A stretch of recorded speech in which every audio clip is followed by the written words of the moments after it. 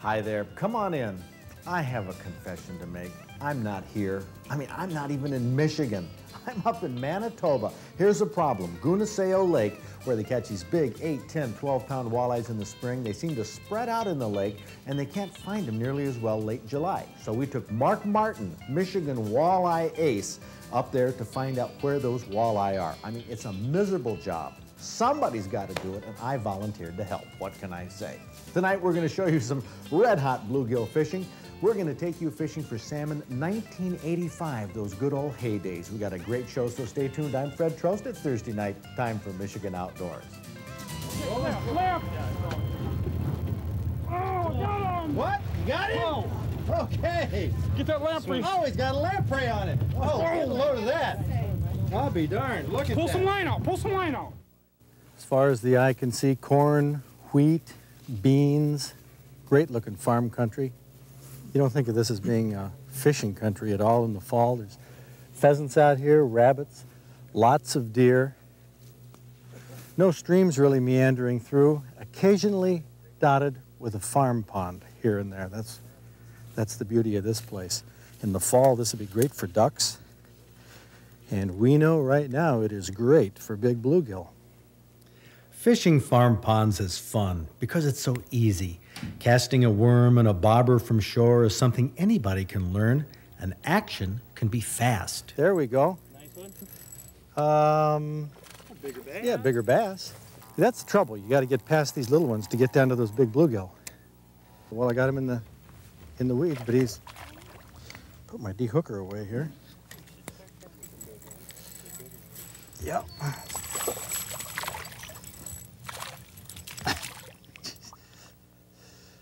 There we go. Well, this is the biggest bass so far. Now he also swallowed the hook, so he's going to get the dehooker treatment. Yeah, just put it down like that. You ready? Pull the trigger, and off goes the bass. Isn't that amazing? Don't have to touch it. No muss, no fuss. it chops, it grinds, it makes pizzas. Well, it really doesn't do all that, but the Happy D hooker has been around for years. You simply slide it down the line to the hook. Pull the line parallel to the shaft and tighten it up a little bit, and when you pull the trigger, the hook comes out and the fish falls. The way it works is similar to the old fashioned hook degorger, except that to activate it, you don't have to touch the fish. Ultralight tackle with small lures can work in a farm pond, especially one like this that's loaded with small bass, and you can make those little ones feel like trophies. What do you think, John? Should I use the orange crankbait or the little F4 flatfish? I like the F4 flatfish. F4 flatfish. Okay, now we put this one on deck. That's the way I, I like to do. So this one can be uh, ready to go as soon as I'm done with the flatfish. Which, like three fish, I think, and then I'll switch to the next one. Working different baits is part of the fun of fishing, especially when you can see the fish chase them. We're moving right through here. I'm gonna, oh, they're still coming. Cast out this little flatfish. Now it's a floater. I think you're gonna find, when I crank it, there they come. Yeah, they'll hit it when it sets. They'll bump it.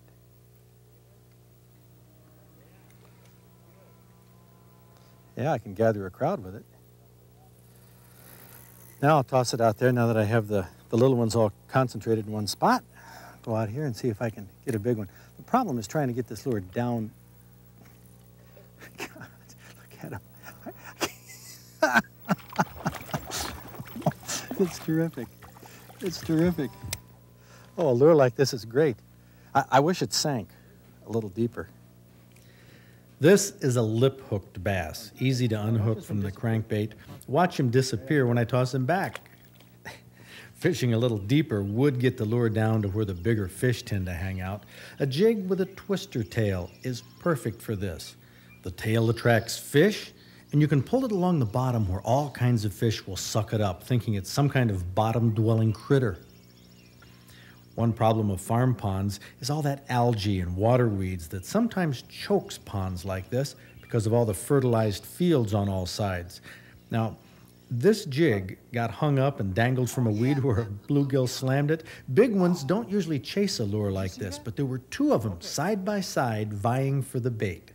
Normally, a bluegill moves in slowly and sucks in its prey. Not when there's competition, though.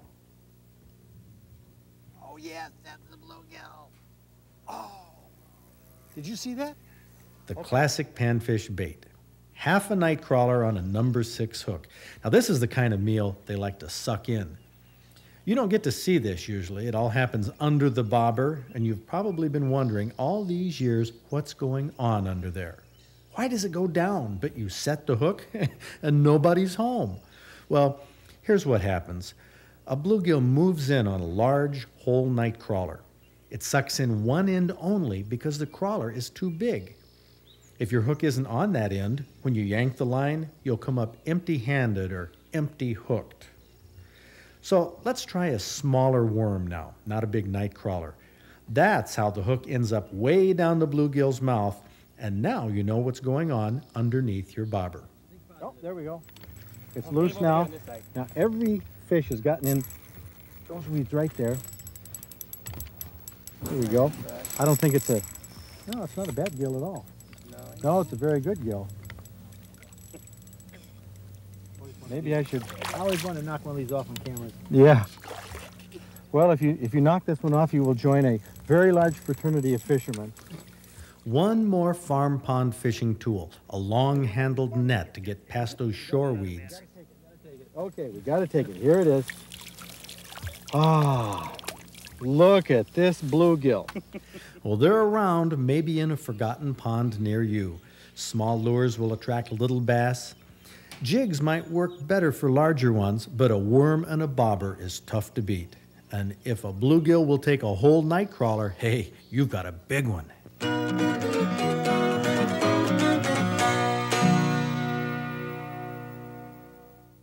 Here's one of the big bluegill I caught. It's frozen, wrapped in wet cloth, and so it's protected. Taxidermist Tim Hayes will be getting onto this pretty soon.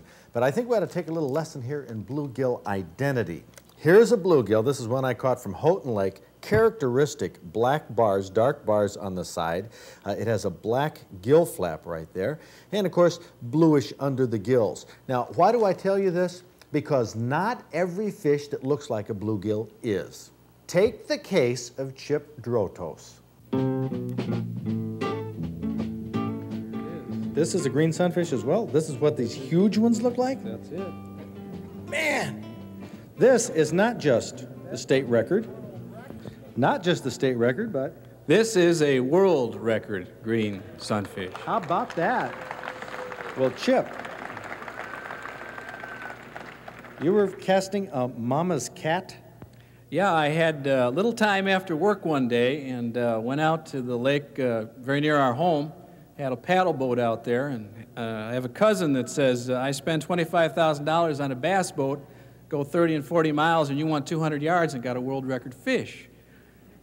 And uh, I was out there and uh, cast it off just uh, a few times, pulled it up, and a neighbor happened to be on the shore and said, uh, What do you have there? I said, Pretty big bluegill. That's what I thought it was. And he said, I don't think that's a bluegill. So he went up and got his DNR book, took a look at it, and he said, uh, Why don't we take it up to the market? So uh, we put it in a bag and kept it alive and went up to the market and asked the folks if we could uh, weigh it there. They were a little surprised. It was a meat market. And uh, took it up. They were kind enough to let us do that. The next morning I was at the DNR, and the DNR uh, lady greeted me at the door. It was the one over in Livonia, and said, uh, Been working here for four or five years, and this is the second uh, record fish that we've had. So she went through the whole identification process and said, Yes, sir, you have a green sunfish world record. And about two weeks later, she called and she said, uh, Chip, your bragging rights just went up uh, 50% because they gave you the world's record on 10 pound test as well. How about that? A lesson on the importance of fish identification, plus a world record. Let's make Chip Drotus from Birmingham our Outdoors Club Trophy Sunfish Angler of the Week.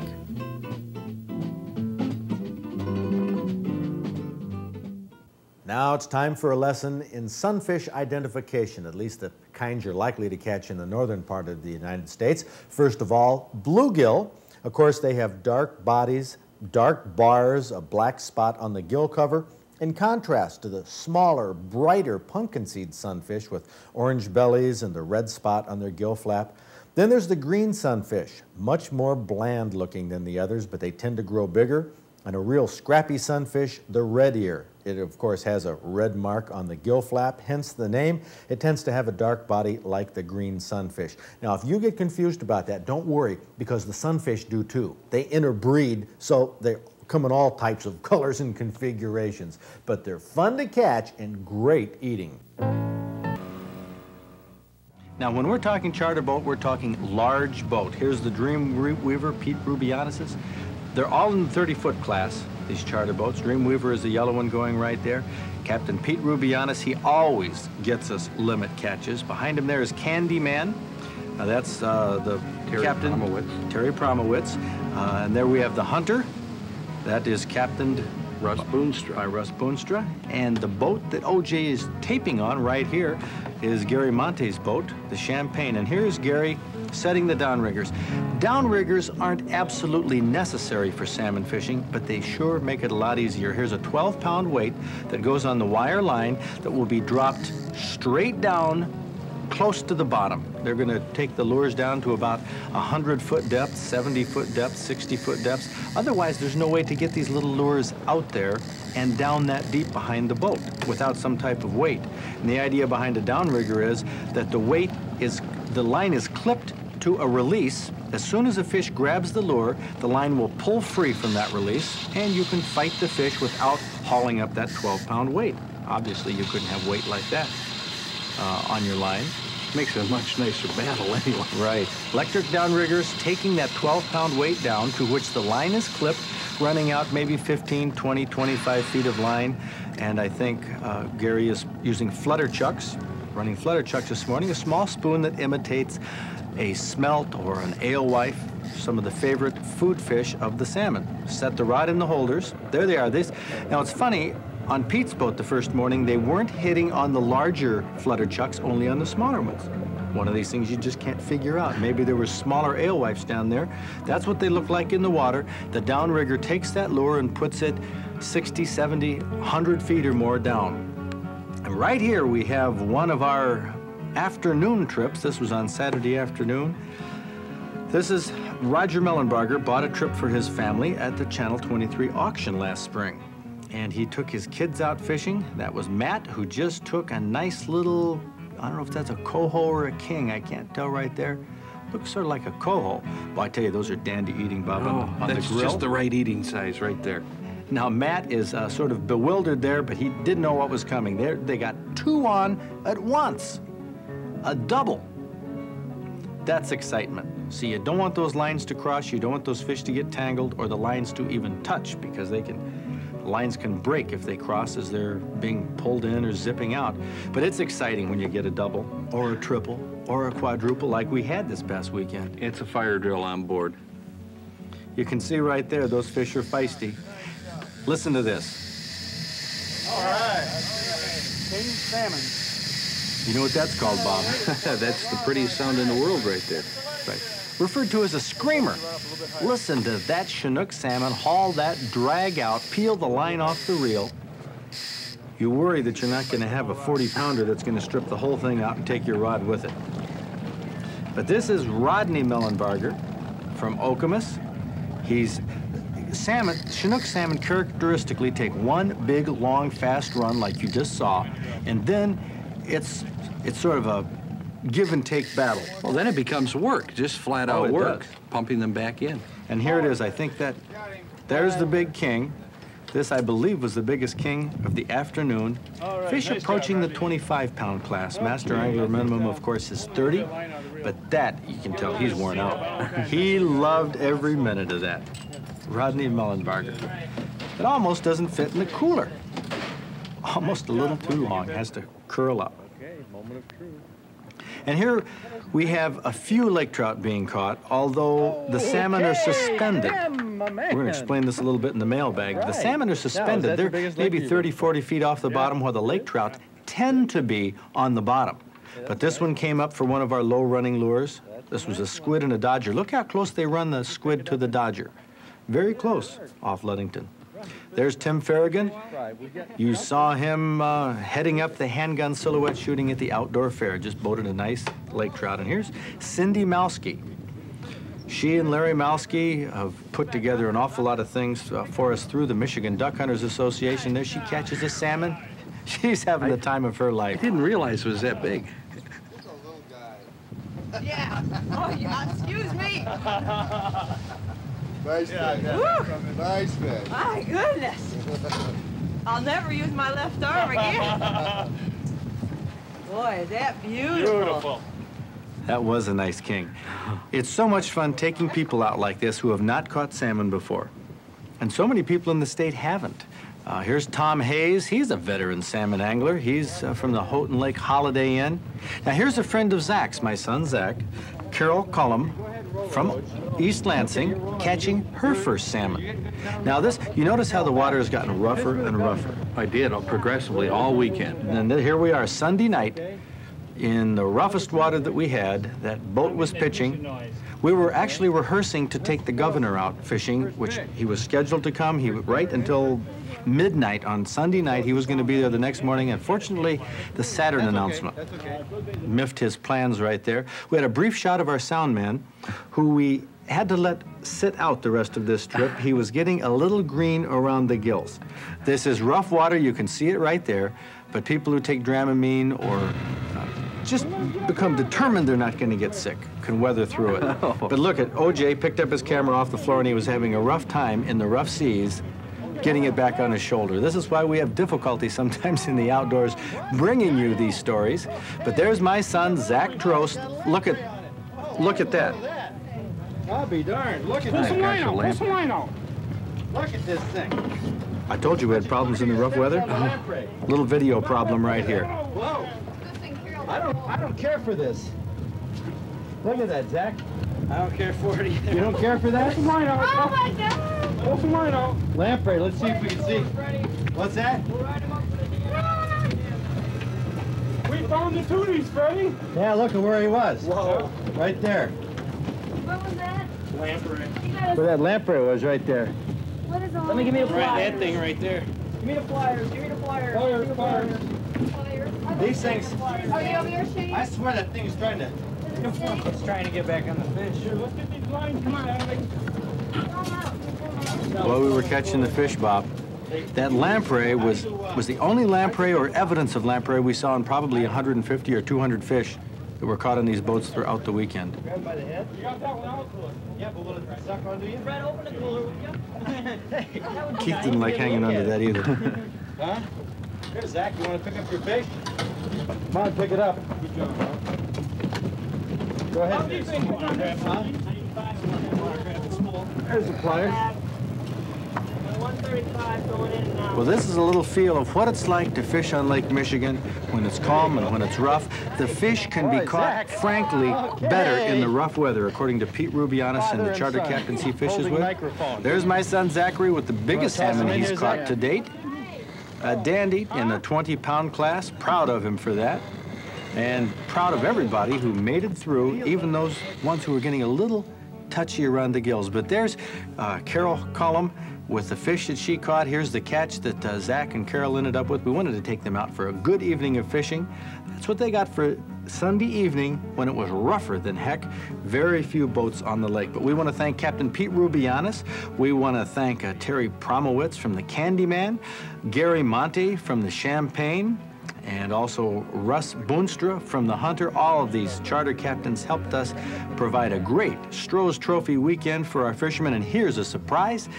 Somebody you haven't seen on Michigan Outdoors in years and years. Does he look familiar? He sure does to me. Why, we did a feature with Morton F., which is going to be on later in the year, but he caught his share of salmon on Monday morning as well.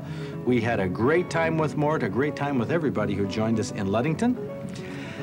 The weather was a little rough at times, but a good time was had by all, and this is what salmon fishing is all about in Michigan Outdoors. Boy, what a time it was back in the mid 80s. We thought it would never stop, but unfortunately, the salmon catch by sport fishermen is down to 10% of what it was back in those days. What's the problem? Well, fisheries biologists really aren't sure. It's sort of like answering the question what happened to the pheasants? Might be disease in the hatchery stock, we don't know. But it appears that this year is an upturn, that the fishing is better. That's a good sign, and we hope that trend continues.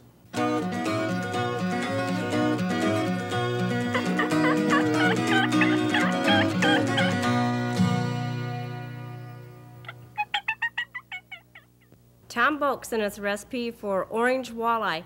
And this is a very, very simple recipe. Everything goes all into one pan, which really makes it nice. You're gonna saute some butter and pour some orange juice concentrate into it, and then add a little bit of triple sec. And he said if you don't want to use a liquor, you can use like your orange crush pop, but let it sit out so that the carbonation is out of it. And then you're going to add some salt and a little bit of garlic powder, and then some orange peel. And this is where the mm. real strong flavor of orange is gonna come through. Well, that's a sweet recipe. Very sweet recipe. And we're going to use northern pike rather than walleye. And it, everything just goes, or the fish just simmers actually in the juice. And that's all there is to this. Well, you got that northern pike, or Bob did. Uh, in Canada. In Canada. So from those clear, cold lakes, Yes. northern pike will taste a lot like walleye. Now, Tom Hendrickson, who's on our Outdoors Foundation board, you see him at the outdoor fair, helps with a lot of our activities. He's a walleye man, so he's kind of prejudiced towards towards pike, but let's see how he likes it. Pretty good. Pretty good? Pretty good. Sweet, but pike mostly is pretty sweet. And I think the sweetness comes through from the orange juice too. Right, I think that's where you're getting it from. And the triple sec. Probably. Oh, yeah? Mm-hmm. Hmm. Yeah, this is northern pike. Mm-hmm. You can see the bones right there, the Y bones. Mm-hmm. Giveaway. Yeah, if this was walleye pike, Right. it would taste even sweeter, Yes. I think. You have trouble finding good pike recipes? Yeah, very much so. How come? Don't, um, I'm really, I do a lot of walleye fishing, so Mhm. I, I don't. you're, you're spoiled. Yeah, Exactly, perch and walleye. That'll do it. This one adapts well, though. I think this recipe adapted real well to this. Did. Yeah, I think maybe an old largemouth bass might even taste okay. Well, it's called orange walleye, but you can make it with almost any kind of fish. Why don't you try it? I think it's something the whole family will enjoy. Next week on Michigan Outdoors, we'll go perch fishing, our annual trip on the Captain Nichols party boat off South Haven. Some years we've done extremely well, other years it's been tough sledding. What about this year? Well, wait and see. We'll also review our investigations into DNR deer management, take a look at what we've uncovered earlier this year, bring us up to date on what's happened, what's coming up in deer regulations. All this and more next week, right here on Public TV.